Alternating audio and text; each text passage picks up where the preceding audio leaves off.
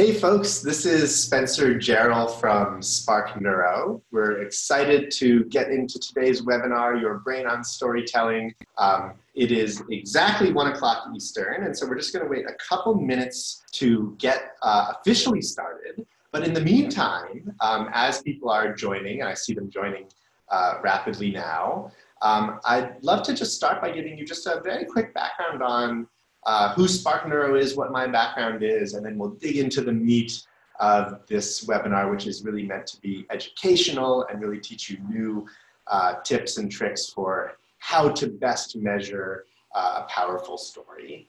Uh, so Spark Neuro is a company that measures the effectiveness of content, especially advertising, movie trailers, pilot TV shows, and we do so instead of by using methods that are self-report, where you're answering a survey or being involved in a focus group. Instead, we're actually tapping right into the source. We're hooking people up to measure their brain activity and other neurological responses, and we're using that to generate graphs of exactly how engaged people are with your content. What is their attention level as it goes up and down? What is their emotional reactions? As they're consuming your, let's say, advertisement or movie trailer. And so we, uh, we use that data to be able to say, not just in general and not just based on self-report about what people say, but actually how are their brains responding uh, to the content? Are they paying a lot of attention or a little? Are they having strong emotions or just feeling neutral? And being able to look at that moment by moment for the best optimization, the best targeting of your audience, um, and that's really what we do every day. We're a team of nerds, scientists, um, who've spent our lives and careers on understanding the human brain and how it relates to real world interactions. And that's actually my background. Uh, uh, my name is Spencer Gerrol. I'm the founder and CEO of Spark Neuro. And my background is in studying cognitive psychology and applying it to the real world. So how does emotion work? How does perception work? Visual perception? How does decision making work? Decision making work in the brain? And then how do we use that in order to best leverage it for real world application. Our mission is to take the greatest of academia and apply it to the actual real world so that we can have a real impact on, on brands and on people uh, based on real uh, quantitative data that comes from the most reliable source of all, the most important thing, which is uh, something that we all carry with us every day. It just happens to be sitting on top of your neck and in between your two ears, the human brain. So with that short introduction, I see that now we have a number of people who've joined and I'm gonna go ahead and uh, get started. We already have um, 54 people on board and many of those are in large groups. Um, so we know that we have over 100 people watching right now and I'm excited to jump right into the meat of the content. So we're talking today about storytelling. Um, what's interesting about story, storytelling is that um, you already knew that it was important, right? I'm not here to tell you that storytelling is this new important thing that you've never heard of before. Um, however, we do want to get into some of the science of it and how you better make use of it. So we're going to start by presenting one academic study that connects storytelling and memory. And we'll get into some of the interesting uh, details of what we learned from that study. And then we're going to show two more studies that actually look at brain activity in response to stories and also the alternative of stories in a few different ways. And what happens in your brain, what is, can we understand from that? And therefore, how can we use that in the real world in order to actually make the stories we tell better? And finally, we're going to end with a case study of something that happened just recently with one of our clients, a Fortune 500 company, who was trying to do their best to tell a great story and learn some very interesting things from the research that we did. Um, and, uh, and so we'll get into that, uh, that example so that we can bring it all home and show you well, how can you use this knowledge to your advantage? This should be educational and it should also be actionable. So first of all, let's go back to that first point. Um, uh, my team did a big search all over the web from all the you know credible or uh, different articles and there was uh, a ton of articles about the value of storytelling and a ton of articles saying that like human beings are hardwired to do X or human beings are hardwired to do Y.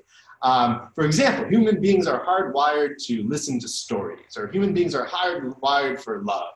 Um, but one of the issues with these, uh, with these ex examples is that they are a little bit vague and they don't get into the meat of exactly really how to do it and what's happening behind the scenes um, in somebody's brain so that we can make actually the best effective, most actionable use of this.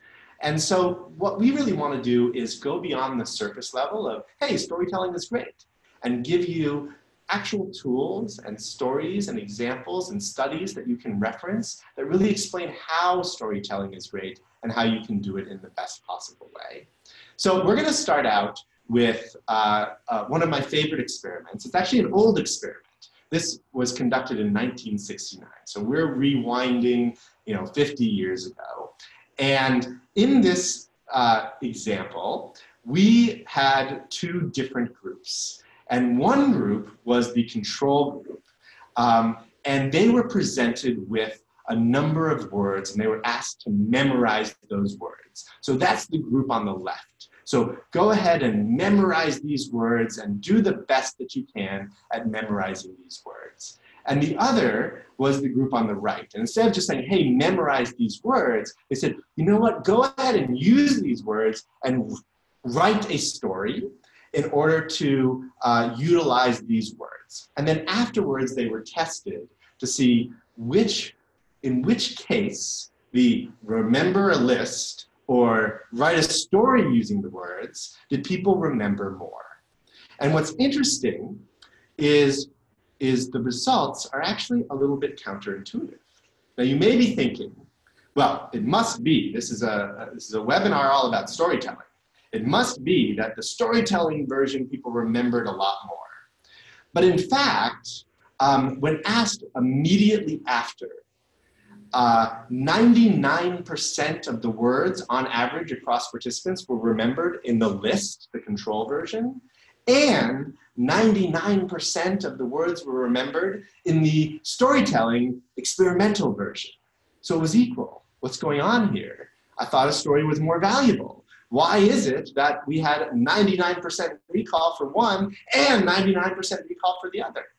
Now, this is where I get very excited because science, in and of itself, although it can be very boring to read for a lot of people when you're looking at just, uh, you know, standard, uh, you know, academic article, it can be hard to digest. Scientific experiments are in and of themselves stories. And with the point is really to make it exciting and digestible. So here we are. We've got two groups, storytelling side and list side and 99% memory for both. Now, that was immediately afterwards. And immediately after studying the list or writing the story, um, memory is very high because you're storing that all in short-term memory which is very different than long-term memory. So in your advertisements, it's great if people can remember it right afterwards, but can they remember it later? Does it actually encode and get integrated into their memory for the long term? And so uh, that's where the study gets really interesting. So they let some time pass by, and then they again ask the same participants, go ahead and list out all the words that you can remember. And in the control group, the list, they only remembered on average 13% 13% of the words that they remembered 99% of before. And in the experimental group, where they wrote a story out of it, on average they remembered 93% of the words that they were meant to remember and remembered 99% of before. Now I'm going to repeat that because this is a key element that really emphasizes uh, why this is even more important than you might realize. The list people remembered later, 13%, and the story version people remembered 93%. That is a massive difference. And because that difference is so big, we really emphasize the importance of storytelling. What else does it teach us? Well, it also teaches us the way that we conduct research is fundamental to the results that we get. When you ask somebody in a survey, just after having seen an ad, what they remember, what they like, etc., boom, 99% in both cases, tie. But when you give them time, which is how real life works, they're not going to go see a car ad and then go buy a car uh, five minutes later. Um, that actually changes the results drastically. So the way in which we conduct research is absolutely critical. So that's one of the key lessons of this. The other key lesson of this is how does this apply to the advertising that you're creating and a lot of the advertising that we're testing from Fortune 500 companies across the globe? Well, it turns out that despite the fact that people know that storytelling is a better method, and now I've just given you some really interesting data about how it really affects memory, many of the ads we tested um, show a very different style. We recently tested, and I won't give away the name of the client for NDA pur pur uh, purposes, but a travel ad.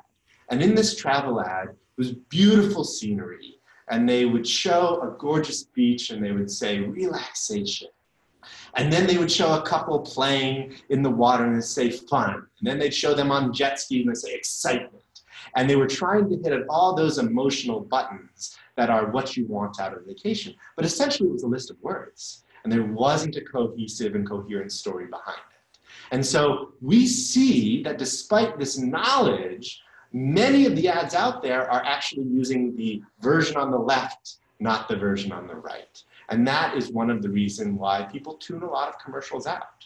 So we're going to move on to another experiment, and we're going to fast forward 40 years. Now we're in 2008, and now we have new technology at our fingertips. And this technology is uh, an fMRI. And so we're actually able to look at the blood flow in the brain, what areas of the brain are being activated, and what areas are not being activated.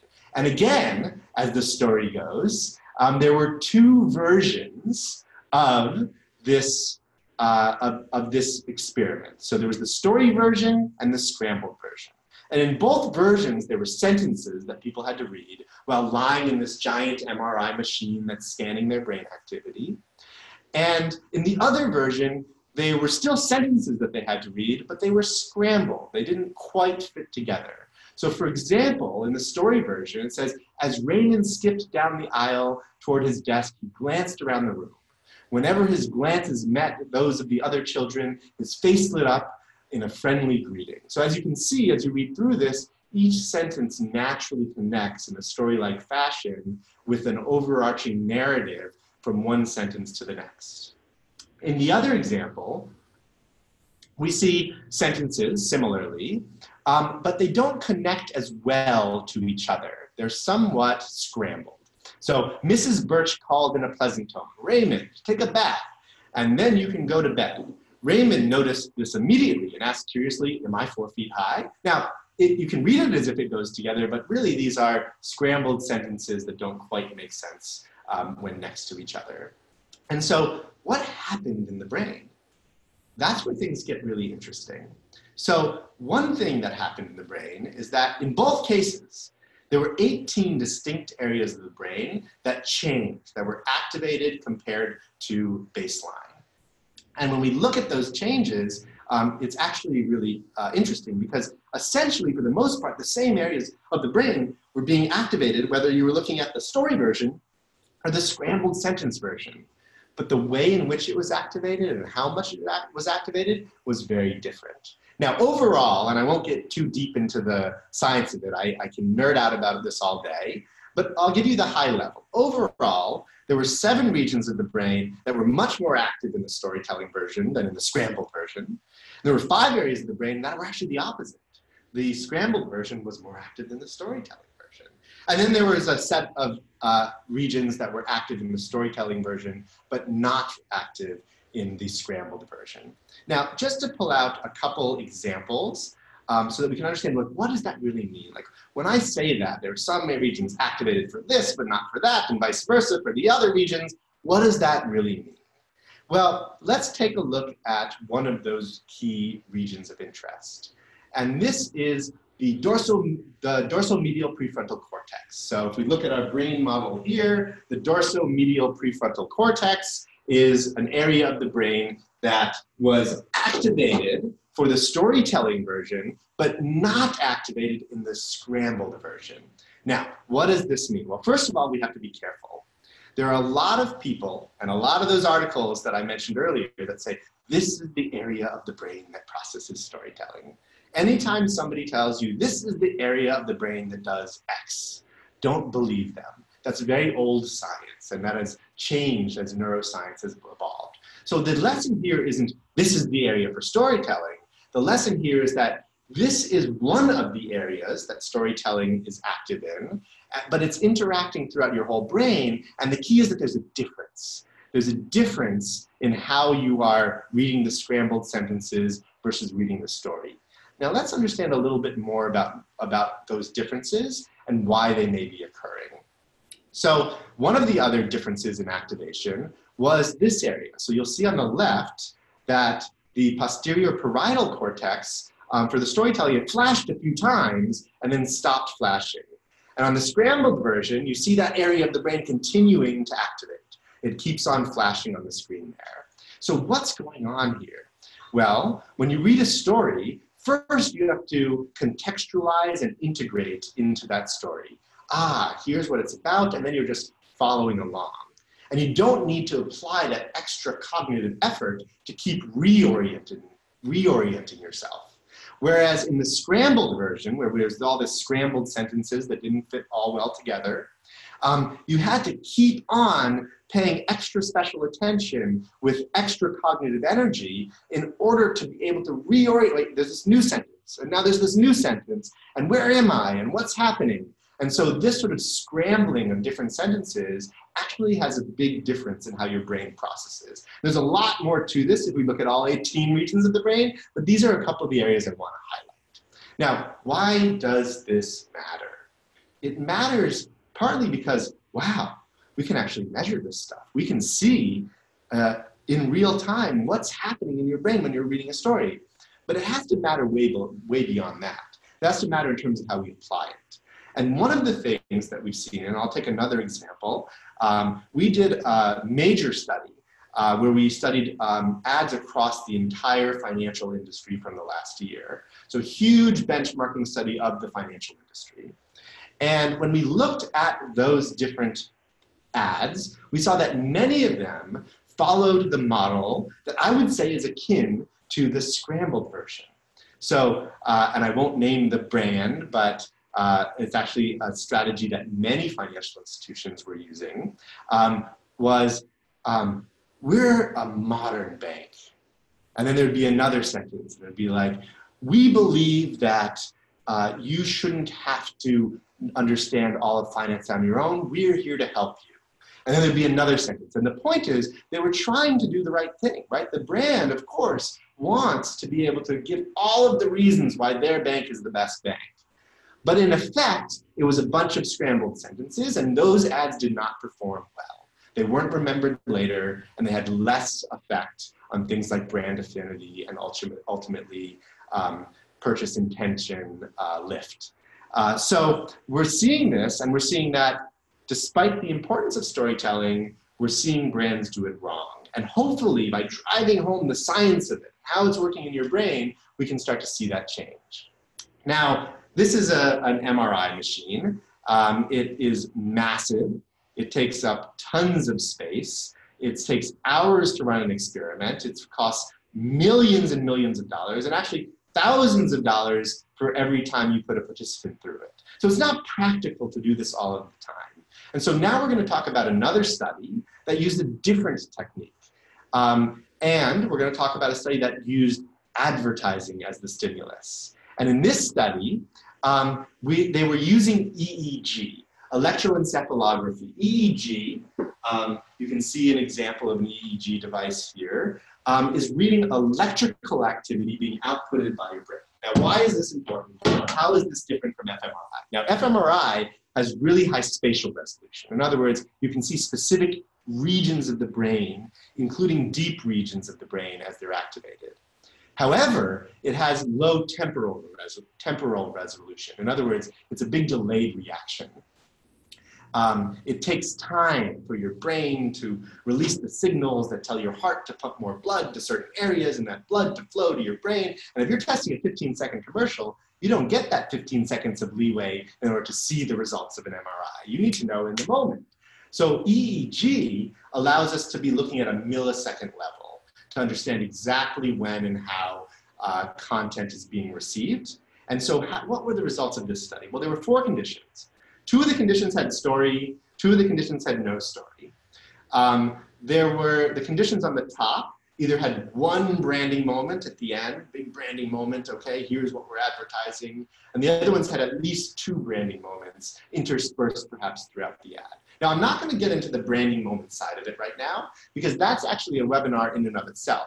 And it's not so simple as more is better. Sometimes less is better. Sometimes more is better. There's actually a lot of nuance um, and, uh, and a lot of evidence from studies that we've run about how and when to decide what to do in the world of logo placement within advertising. But when it comes to the story element, we saw two really important things. One thing was that when you ask people what they prefer, they, they preferred the story side. And, and that should be pretty naturally obvious as well. In general, they prefer the story side in this case. Um, uh, additionally, when you look at the neurological output from their brains, being released from their brains, there was evidence that they're paying more attention and being more emotionally engaged with the storytelling element. So what's important about this? Now we've gone from 1969, we said, okay, storytelling and memory are really well connected. And we talked about examples with the list and how people are uh, uh, using the wrong techniques in advertising sometimes. And then we zoomed forward and said, now we have this MRI and you can see what's happening in the brain. And we showed an example about scrambled versus storytelling and what happens in the brain and how that actually affects people. And now we're saying testing ads using EEG, a lot easier to set up and a lot easier to run studies. Now, the algorithms behind this incredibly complex. But we are running hundreds of people a day, people a day here at Spark Neuro, and it allows us to really get really deep, meaningful insights moment by moment, given the granularity. So I'm going to finally end with uh, one more case study um, that helps drive home and illustrate the. And in this case study, um, I again won't mention the brand. I don't want to embarrass anyone although this has happened a couple times, um, we, uh, we ended up having to test um, six different ads for a single brand. And the reason we had to test six different ads for a single brand was because this was a really important campaign. It was something that they were going to spend tens of millions of dollars airing. And so they didn't have the luxury of releasing something that people wouldn't remember later, that people wouldn't pay attention to, that people wouldn't be emotionally engaged with. So they wanted to test these ads using our methodology, and they also tested these ads using the traditional survey-based methodology that you're, many of you are familiar with, copy testing. And so uh, what happened? What were the results? Well, if you look at our neural results, we saw that there was this one ad that outperformed all of the other ones. And there was this other ad that was actually the total bottom of the list. It was just last place. And in the other case with copy testing, it was totally flip-flopped. There was this one ad that was the worst according to our neural analysis, that was the best according to copy testing. And the worst ad, according to copy testing, was actually the best according to the neural analysis. What's going on here? How are they to make a decision of which ad to choose? They have conflicting data right now. And so this is an opportunity to understand what are different things measuring. And so let me tell you a little bit about the contents of these ads, and then you'll start to understand what the difference was, and then I'll tell you how we concluded this in order to uh, make a decision. So first of all, it's a, it's a big organization, risk averse, they decided, well, let's just go with the copy testing results because we've been doing that for years. So let's go with the one that has the beautiful script. And so this beautiful script one, it actually was gorgeous. It was poetic, gorgeous imagery. I mean, this was an ad that you read and you're like, wow, whew, that hit home because the script was just perfectly crafted. It had all the right messages in it. And that's the one that won for copy testing, but performed so poorly according to people's attention levels and emotional levels as they were watching it.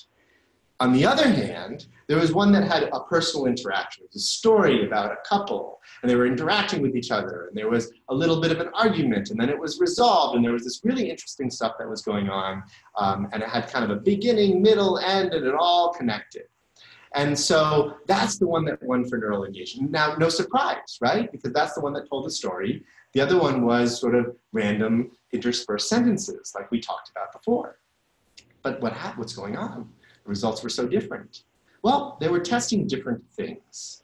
Uh, one element is the way that copy testing tends to work, just like we saw in the first example, was yeah, the short-term memory right after seeing it is, um, is going to be strong. And if you're just looking at the contents of the script, um, and you really meant to pay attention to it and focus on it, yes, you're going to choose the one that is so poetic. And so we, um, we wanted to understand how did that differ from the neural results. And so the personal interaction commercial um, was uh, entirely different. And, uh, and so they, we went and they said, okay, we've made our decision. We're going to go with the one that, that was supported by copy testing. But please, can you come in, Spencer and team, can you come in and can you explain to us, like, why were these stark differences here and what actually happened? So we decided to do an experiment with the people in the company themselves. And so we pay, played the storytelling ad, the personal interaction commercial. And we said, okay, just listen, pay attention, relax, and just consume this content. And then we said, okay, now we're going to play the other one, the one that you're working on, the one that you're actually developing the script for, and the one that you're filming, and just go ahead and play that one. And, and so they, and they, and we did, and they all listened and they all paid attention. And then we had some time between, right? We moved to another room, we played another video, um, and then we said, okay, everybody, you saw the two ads, the ones that were so different, whether we're using our neuro testing or copy testing. Now, everyone, you have a pen and paper in front of you. Please write down all, everything you can remember about the first ad.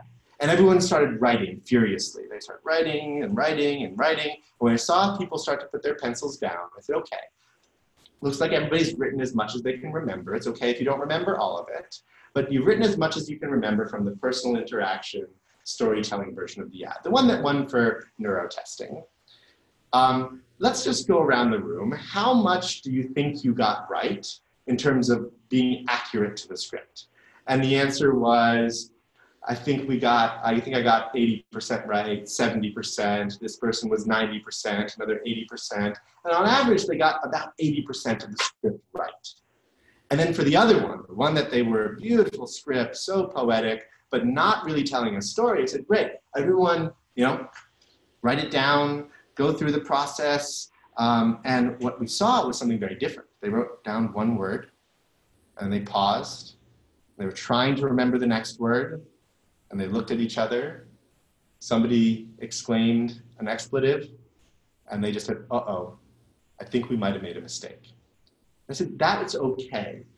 This is a new era where we're being able to understand human perception of stories, ads, movie trailers in a new way. And so the important thing is to learn from the experience and how can we use these different methodologies in the best possible way.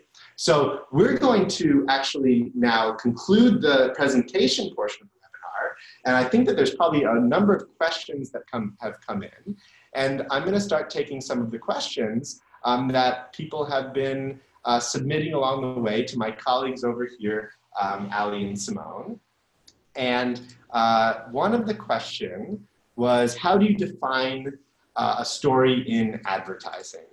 Um, and so how do you define a story in advertising? Well, you, uh, we, we have two ways of answering this, right? So we could define a story and say, okay, here are the elements of what makes up a story and have a very scientific explanation. And that scientific explanation might be along the lines of, well, it has to have a beginning, a middle, of an end. It has to have tension that is set up and then relieved. It has to have a narrative structure that, et cetera, et cetera. And we could take, say, here's what a story is not. It's not a list of words or adjectives or disconnected sentences. However, I think that having a scientific definition sometimes can be advantageous to us, but sometimes it behooves us to actually have um, a, a, more artistic understanding of this because the agencies and brands out there, like you know, your instincts know what a good story is. And so the key thing that, um, that we want to understand is, uh, you know, there's a mix of the art and the science and rely on the great artists, rely on the advertising agencies and the great people at the brands to really understand this, but don't just accept the status quo. Don't do just what the self-report research told you to do, because that often waters down the results. And if we're watering down the, the, the creative content of the ad, that's where it doesn't become uh, a cohesive story anymore and where we lose a lot of the benefits. So again, there's two answers. One is we can make a scientific definition. I kind of gave you some of the elements of that. But the other is trust your instincts. There's an art and a science to this. Um, I have another question. Um, uh, let's see. Um, can you say more about your EEG dependent measure? Why not just delayed memory test? Oh, Greg, what a great question. Uh, this is from Greg Hickok. So Greg, um, we, we actually uh, do a, a, series of memory tests in every study. And, uh, and it's incredibly useful. We actually do a free recall test, right? Like what do you remember just on your own without a cue? And also, uh, we do a recognition test. Here's a list of a bunch of things, most of which you didn't see, some of which you did. Which ones do you remember? Like it's just another layer, layer.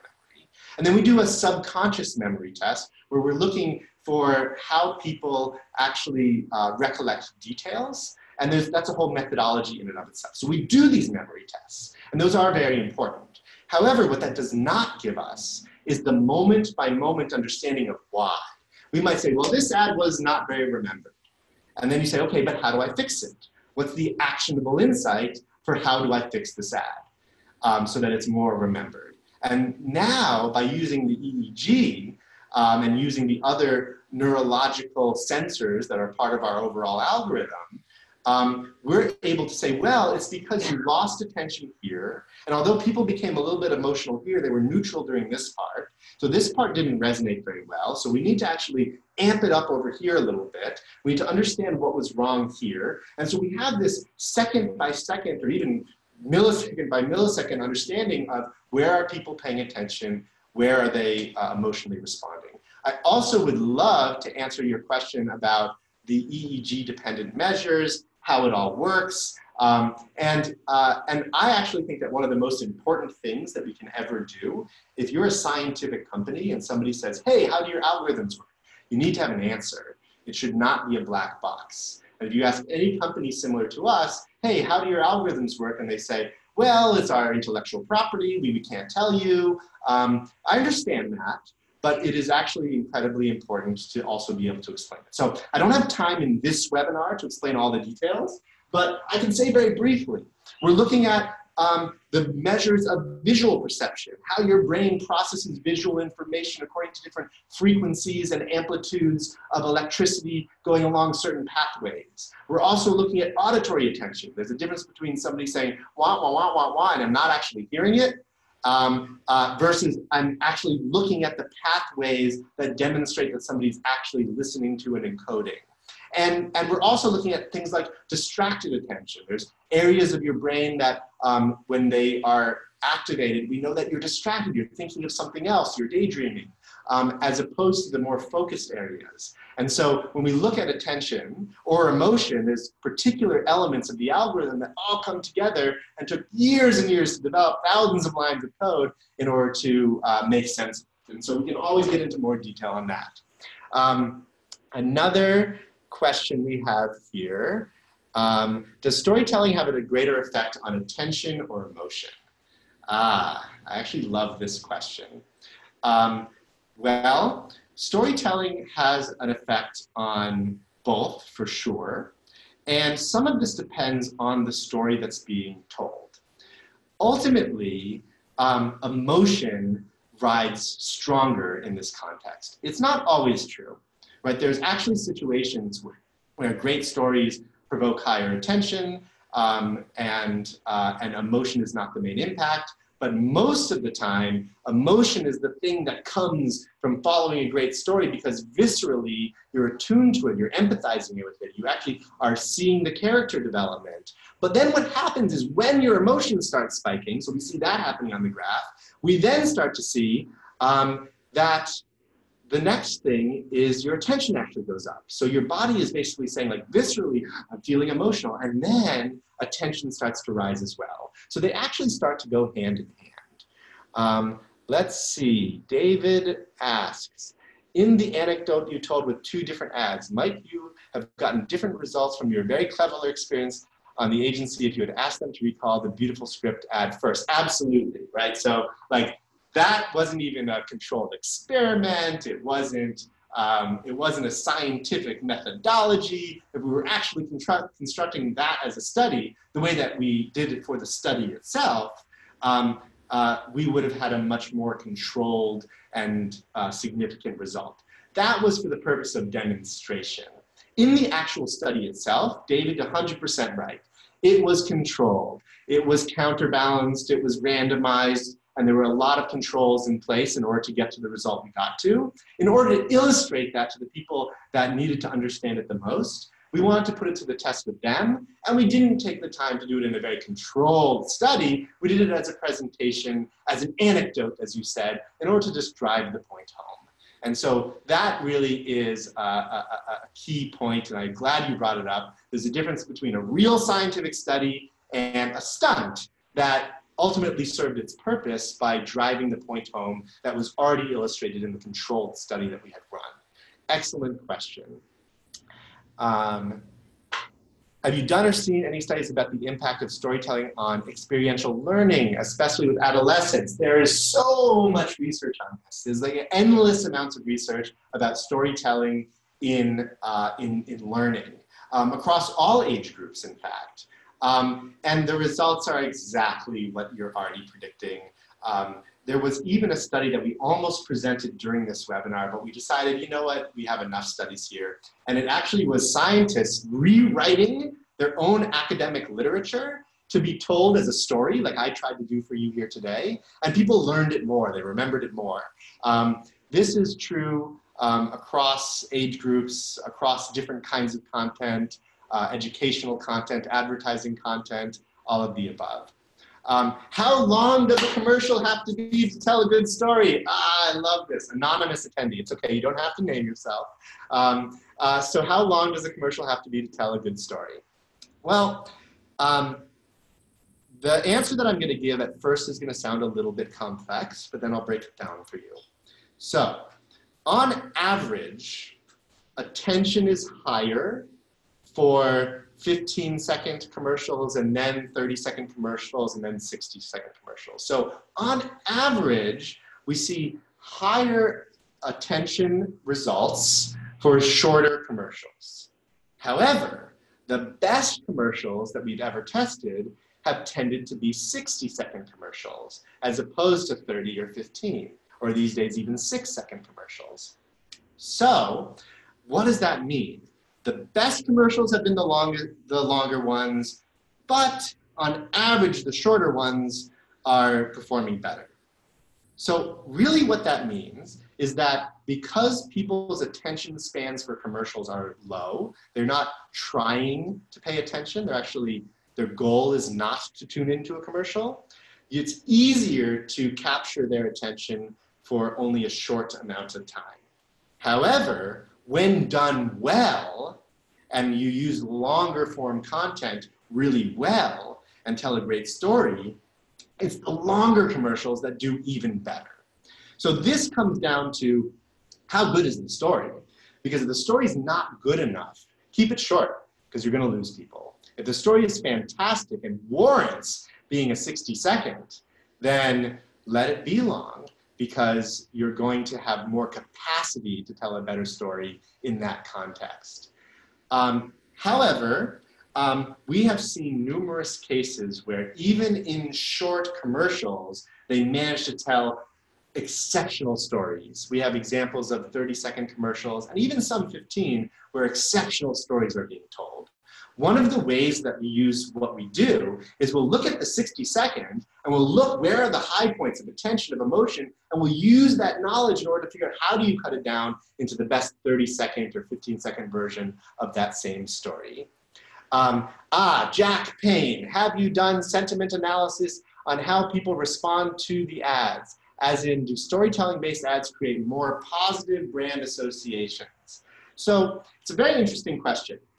Um, the, the short answer is yes. I mean, when you ask people about their preferences, as in one of the studies that I presented, there is a preference for the storytelling ads, and that preference for the ad tends to um, transfer over to preference for brand. Now, there's a lot of um, exceptions to the rule, and there's uh, a number of examples running through my head as we speak where I can say, well, there's this exception and that exception. But in general, that is true. Now, I want to make a point, though, that helps better articulate what the answer to this question really is. Um, and that is that more important than sentiment, in terms of people remembering the story later, having greater affinity later uh, for the brand, and even affecting things like purchasing intent or even actual purchasing behavior, um, is actually not the sentiment, right? In other words, it's not did they feel a negative emotion or a positive emotion? And there's way too much emphasis in the industry of doing sentiment analysis, where they say like, oh, people felt really negative here and really positive here, and we don't want people to feel negative, so let's go for happy. And what ends up happening is brands make the mistake of, of an ad that, that the story goes happy, happy, happy, happy, happy. And those are actually not really stories, and they're not really memorable. So what we're looking for is actually fluctuations in positive and negative emotions. We're looking for high emotional intensity. We want to see people feel fear and then relief and then joy and then anticipation. And the more that emotions are mixed, the better job the story does at resonating, being remembered, and following through. Um, uh, how can how can you work with my company to figure out which stories are better than others? You know, I, I don't want to turn this into a sales pitch. I appreciate the uh, the um, the question. Um, uh, the answer, like, let's just get in touch later. Um, we have many testing techniques where we measure storytelling and we measure the content and we understand how, which things are engaging emotion, where, how, um, and we look at it on a very granular level so we can really make refinements and make the best data-driven decisions in the absence or without having to rely on some of the biases of groupthink where everyone tends to sort of rally around and say general statements. Um, do commercials need dialogue or narration to tell a good story? Oh my goodness, what a great question. Um, you know, you would think that they might, right? Because dialogue actually helps um, in many cases to tell a better story. However, and this one I actually can mention the brand by name because we have permission to do so. Um, uh, we did uh, a study with FedEx recently where they told an entire story, beginning to end, without a single word mentioned. We did actually uh, a, a, study for Budweiser. Again, this one is one that we um, uh, uh, can publicly talk about and we can show the example of, where it's an entire story told without a single word spoken. And these two examples, including the FedEx one, it's called Tortoise and the Hare, you can look it up. Um, it told a whole story without a word spoken, and it was incredibly emotionally resonant. It had really strong emotional appeal, and the goal of that of that uh, ad was not to sell on the benefits of FedEx. It wasn't, we're faster and more efficient. It was, we want to create some brand affinity and show people that we can make them feel good around the presence of our brand. And it sure did serve that pur purpose.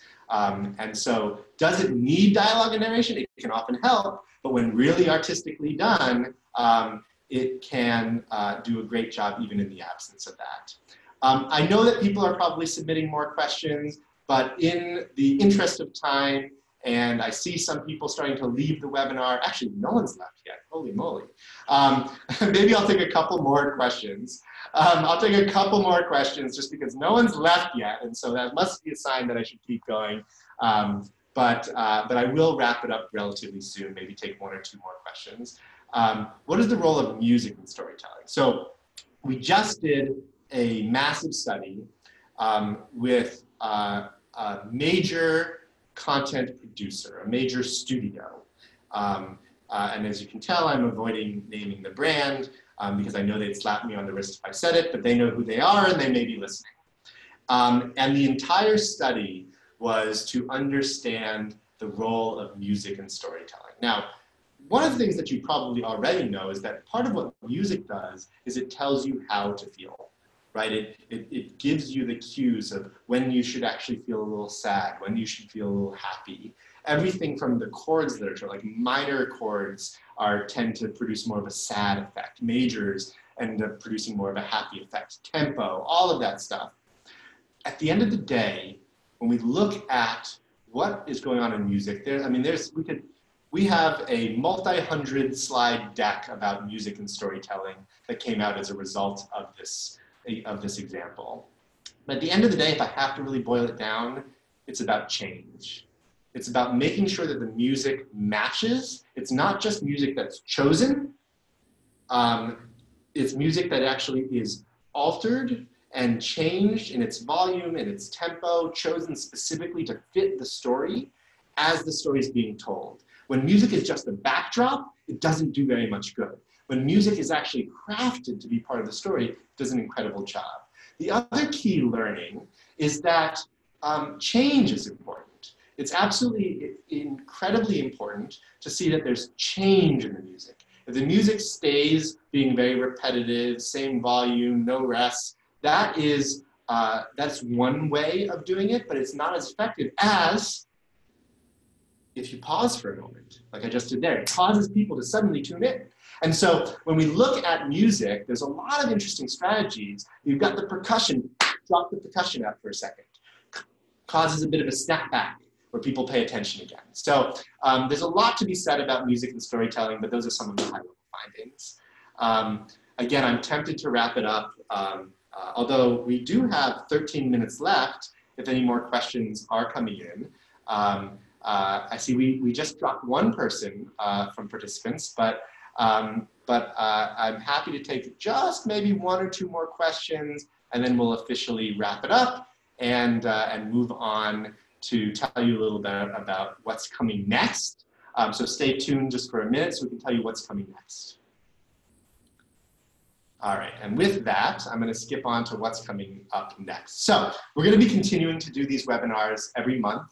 Um, so you'll, if you're interested, please let us know. We'll continue to provide these webinars on a monthly basis. Um, the next uh, webinar is going to be coming in mid-January. We're also going to be doing a lot of in-person events, sometimes actually at the uh, at client sites, brands, agencies, um, and we're also going to be hosting um, interactive events um, in person in some of the key cities that we work in, like New York and Los Angeles. So if you're interested in having an in-person uh, seminar where we get to dig into even more depth and be in person together, that's something, and we're doing the first one of those coming in mid-January as well. So uh, uh, please let us know, and um, and and we uh, and we hope to see you there. Suddenly, I just got a big slew of questions from Alex Slater. Um, Alex, I'm going to run through your questions really fast, and then we can always jump on the phones, phone together um, if we want to uh, understand a little bit more uh, and dig in more just in the interest of time. And of course, everyone who's tuned in, thank you so much for tuning in. For those who want to see the answers to Alex's questions, uh, stick around. If not, thank you so much. It was an absolute pleasure. Um, we really appreciate you joining us. And please let us know what you thought, any feedback. Um, should we do this again? How should we do it better? Uh, what did you like about it? What should we do the same? Please let us know. We'd love to hear from you. Okay, Alex, and the other uh, set of people who are sticking to it for this. How many participants are in a typical EEG study? Um, how many participants? Well, the minimum amount that we will do, just as a principle of our company, is 50. Um, that's the minimum amount necessary in order to have a statistically significant result. And so that is uh, key for us, is that we won't compromise the scientific validity of what we're doing. And so 50 is really the minimum. But if you told me, well, I want to understand the difference between this demographic and that men versus women, then I would say, actually, now we need at least 50 from each group. And the costs is a, another very good question. Um, you know, I'm tempted to say it depends because that's what all uh, companies say, but I'll try to give you a little bit more than just that. Um, it's very much uh, a function of how many locations, it's a function of how many participants, but you know, on average, um, uh, a study costs in the vicinity of $50,000. Um, it can be more or less than that depending on the complexity of the study, what we're studying, how many stimuli, how many participants, how many groups, um, but that gives you some sense. It's, um, uh, and so, you know, we're looking at this as the kind of thing, it's, it's a lot fewer participants than a big survey that's quantitative, but a lot more participants than like a qualitative set type of study like focus groups, just because of the, ne the necessity of the science. Um, in academia, they'll do EEG studies with as little as 15 people, but that's because they're studying very specific questions. And for something like entertainment content, the, the questions are just much more general and you need bigger sample sizes to really understand, understand it. Are you working on being able to predict ad performance? Not only are we working on it, we have strong correlations that show that we have um, predicted ad performance um, and that there is strong correlations with um, uh, ad performance on numerous levels. We ran a study uh, comparing our metrics to memory. That was an easy one. We talked about that today. We compared our metrics for the Super Bowl to which ones had the most social media activity, or went most viral. There was a strong correlation between which performed best on our neurometrics and which actually performed best in social media. Um, we also did this for even purchasing, and we saw uh, a very strong correlation between the strong performing ads that engage your attention, engage you emotionally, and actually converting people into purchasing later. Um, there's a lot of caveats. It is different for different industries, um, but in fact, yes, um, it is predictive. There are other factors in the world that need to be taken into account as well in order to make the predictive model as strong as it can be, and that's a conversation for another time. Um, uh, EEG doesn't break out specific emotions, but whether there's brain activity. So interestingly, EEG is very interesting. So um, it's telling you what frequencies of electricity are occurring in different parts of the brain, um, and, and how strong and how repetitive. And by having very complicated algorithms that took many years to develop, we're able to understand um, the extent to which you're paying attention, the extent to which you're not. We're able to understand if you're experiencing strong emotions or not. Um, it's complex in terms of how the algorithms do that. Um, and you can tell to some degree whether the emotion is positive or negative. That's called emotional valence. And emotional valence, whether it's positive or negative, is one of the key things that EEG is used for. However, my big caveat is that people um, oversimplify, well, really everything, right? So positive and negative emotions, um, it, it's a lot more complex than just that. Um, if you're feeling nostalgic, um, is that a positive emotion or a negative emotion? If you're about to go over a roller coaster and you know, is that a positive emotion or a negative emotion? Well, nostalgia, you're a little sad, you're a little happy, you're having memories, you miss it, but you're fond of it. You're on a roller coaster, you're scared, you're excited. And so, really, what's even more important than the positive and negative is those complex mixes of emotions. And that's where it gets a little bit more complex than fitting it into nice, neat little buckets. Um, and, uh, and that's a really critical element. Uh, Ginger asks, how long does it take? Well, any given session can take 20 minutes or an hour or an hour and a half, depending on how, uh, uh, on how uh, what we're studying. Um, the time to actually conduct the study itself is less than a week. Um, and then how long it takes to do the analysis or the setup is dependent on the complexity of the study. Um, Alex says, scared is the right emotion for a horror movie trailer. I would say, actually, Alex, that is true. Scared needs to be in there. Um, but you can't have one emotion in the absence of others. In other words, um, every emotion is relative to each other. So if you can't make people feel calm, then you can't then make them feel optimally scared. And so these complex combinations of emotions actually are what work well together. And that complex combination is something that we don't want to gloss over because there's always, um, there's always something that is uh, oversimplified when people try to create these neat little buckets of positive emotion, fear versus relaxed. It's the combinations that are actually especially important. And now Alex and I are just having a fun conversation. Um, I'd love to meet you sometime, Alex. Um, fear is not so good for food. Maybe it is. Um, there are cases where we've seen, uh, I can think of a particular candy brand that used fear in the commercial, and it was a phenomenally outstanding performed commercial. It was super, it was super uh, memorable, and it also had a big sales lift connected to it. Um, it was a popular candy that I won't mention, and uh, and that is uh, something that you can use any emotion for really any product. It depends on the story you're telling and how engaging you can make it. With that, I am going to wrap up. I'd love to speak with any of you who are interested to learn more. Thank you so much for tuning in. We're excited for the next webinar and we hope that you get in touch with us so we can make sure that you're here next time as well. Thanks again. And with that, I'm going to end the webinar. Thank you so much.